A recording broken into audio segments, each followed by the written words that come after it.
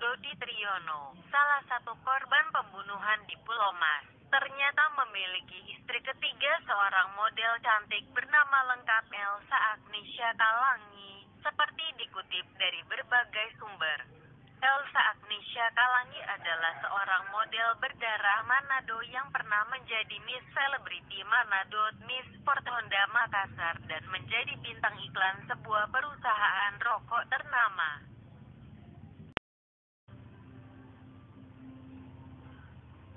Usianya saat ini masih sangat belia, 19 tahun.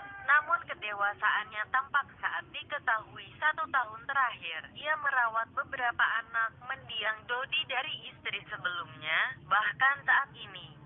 Dikabarkan Elsa Agnesia sedang menanti saat kelahiran anak pertamanya.